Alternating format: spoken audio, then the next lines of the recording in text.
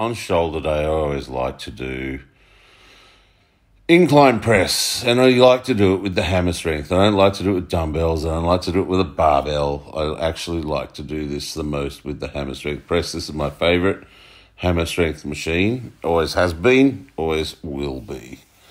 And I just put a reasonable weight on there and do as many reps as I can, sort of thing. Oh, I've gone a bit heavier there.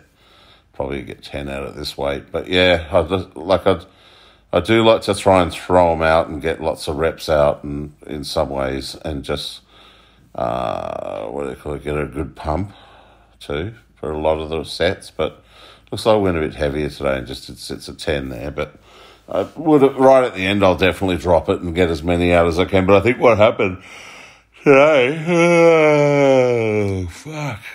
I think what happened today was I I was so my shoulders and chest was so fucking dead at the end of the workout that I um yeah just got them done. Did the heavy ones, and then when I went light, I still couldn't get many reps out on the last set. You know, because I was just so fucked. Yeah, see, here's light, and I think the cameraman caught this full set this time, and there's really not that many reps, maybe 10, 15 at the most.